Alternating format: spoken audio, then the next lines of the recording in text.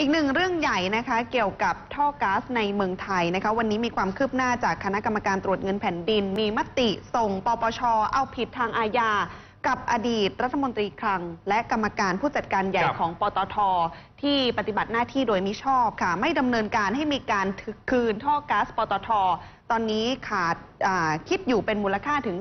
32,000 ล้านบาทนะคะ ครับ ด้านประธานคณะกรรมการตรวจเงินแผ่นดิน คุณชัยสิทธิ์ตราชูธรรม ได้แถลงข่าวผลการพิจารณาและมติของคอตงกรณีที่มูลนิธิเพื่อผู้บริโภคและคณะ ยื่นคำร้องให้ตรวจสอบว่ามีการฝ่าฝืนมติครมในการส่งมอบท่อก๊าซปตท ตามคำพิพากษาของศาลปกครองสูงสุดหรือไม่ มติที่สำคัญในวันนี้ค่ะ เห็นว่าอดีตรัฐมนตรีว่าการกระทรวงการคลัง และกรรมการผู้จัดการใหญ่ของปตท และพวกฝ่าฝืนมติครมครับและมีพฤติการน่าเชื่อว่าปฏิบัติหน้าที่โดยไม่ชอบ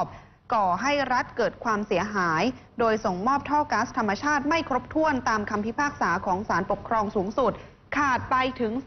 32,000 ล้านบาทเศษค่ะ และทำให้รัฐขาดประโยชน์จากค่าเช่าที่พึงได้รับ นอกจากนี้ยังยื่นคำร้องอันเป็นเท็จต่อศาลปกครองสูงสุด ว่าได้ดำเนินการส่งมอบท่อก๊าซคืนครบแล้ว พร้อมจะดำเนินคดีอาญากับกลุ่มบุคคลเหล่านี้ด้วยค่ะ กับคุณพิสิทธิ์ลีลาวชิโรพาสผู้ว่าการสำนักงานตรวจเงินแผ่นดิน บอกว่าสตงจะส่งเรื่องไปให้ปปช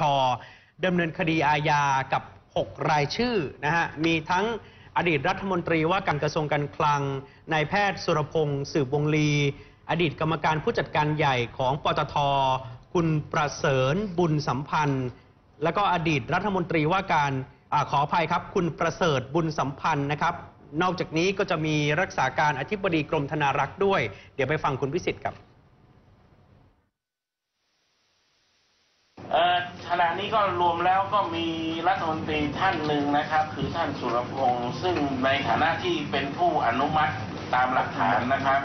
แล้วก็ที่เหลือก็คือทั้งหมดรวมแล้วหกคนก็มีปตทสองคน แล้วก็ที่เหลือก็